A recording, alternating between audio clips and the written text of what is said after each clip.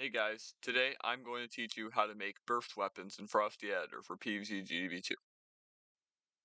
First, open the gameplay folder, scroll down, open weapons.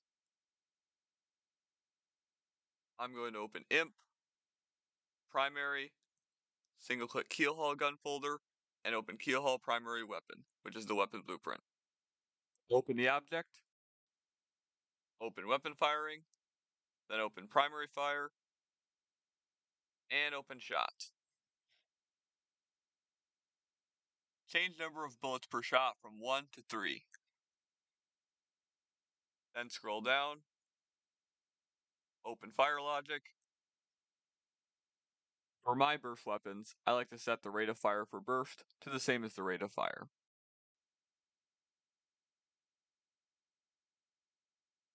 Set the automatic delay to 0.4. And if it isn't already, make sure the fire logic type is automatic fire and the type array is single fire. Now we can save the project, and I'll call it Scally Burst.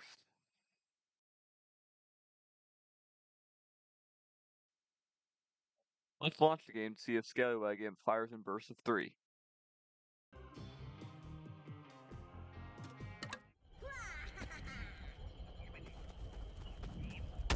And he fires in a three burst. You can fire it one click at a time, or by just pulling the trigger down. Thanks for watching, and have fun designing your own burst weapons.